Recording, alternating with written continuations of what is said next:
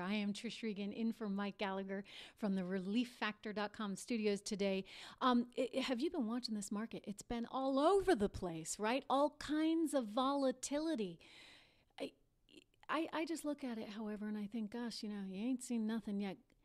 If you actually were to have a Joe Biden presidency, what would that look like on Wall Street? What would that look like for our economy? I mean, you think about the the unfortunate circumstances, tragic really, that we are now in as a country with 40 million jobs being lost and 40% of S&P companies not being able to give any kind of earnings guidance because nobody knows.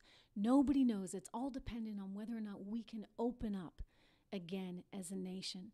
So you have a lot of uncertainty, but you want to talk uncertainty. There's a lot of fear about what a Biden administration would look like for our economy and for our markets. You know, remember, I, I think that sometimes people forget policy, right? It's so easy to get hung up on personalities and, you know, President Trump isn't everybody's cup of tea on the personality front.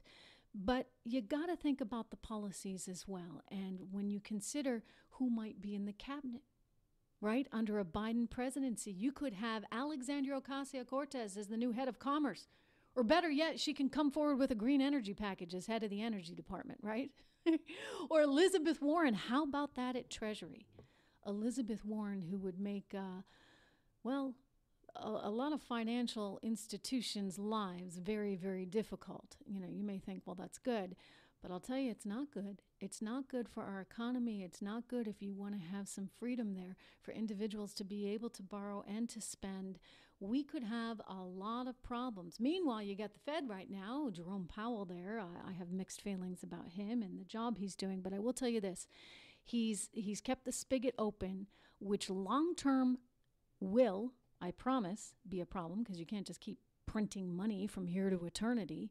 That's never going to work um, somebody at some point has to pay this off, which means our kids are going to be saddled with all kinds of debt. You don't even want to think about what they're doing. But nonetheless, he, he's he's coming through in in this moment, in the here and now. We've got lots of callers here. The phone is lighting up, which makes me so happy. I want to go to Arnie right now. Arnie, welcome to the program. Good to have you on.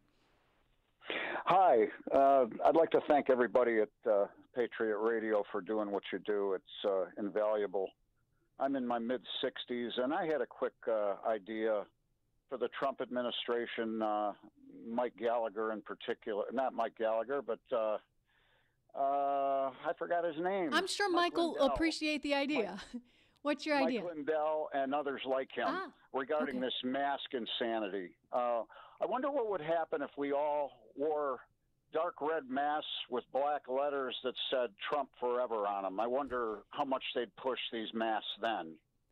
If That's an interesting idea, right? And that might be a new business opportunity yeah. for Mike Lindell. I get it.